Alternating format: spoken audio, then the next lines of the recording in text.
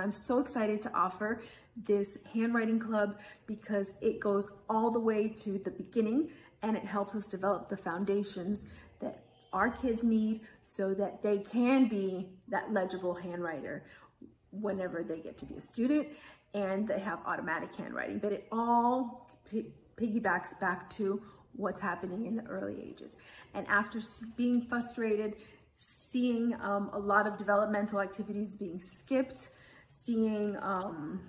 a lot of the fine motor, gross motor, visual motor skills being pushed off to the side in lieu of um, more, faster, sooner. Um, this is my opportunity to be a solution to the problem and give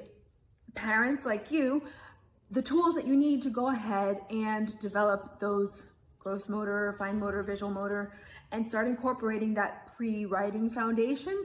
So if by chance it does get skipped out in the world, in the classroom, you guys have it covered here at home. And that's really my mission for this whole handwriting club is to empower as many parents as they can to know what games to do while they're still having a good time that are really gonna work on the foundations.